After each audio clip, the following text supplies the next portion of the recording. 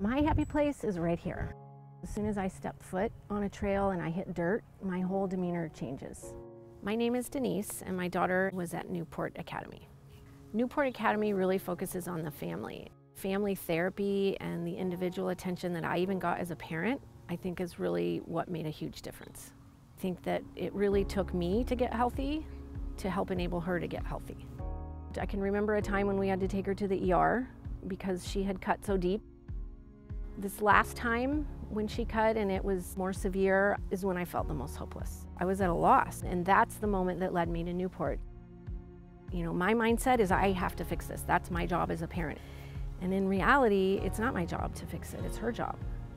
I have to fix myself.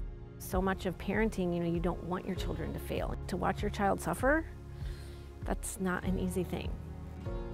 But there's not a moment now that I don't look back and think it was worth it because I really feel that they were able to give her the tools and really dig deep to look at the things she needed to look at and it helped me. And I think in helping me, that was the best therapy for her. Honestly, you know, the fact that we're able to connect now to me is such a relief and worth anything that we've been through. I mean, our connectedness now is just, it's night and day.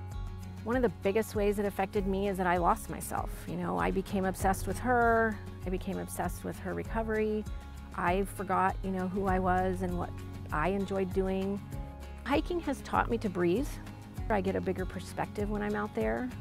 It's amazing what your clear mind can do for you if you give it that space.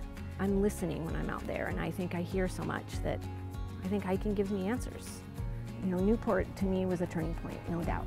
And there's no question that we made the right decision. It was hard, but there's not a moment now that I don't look back and think it was worth it.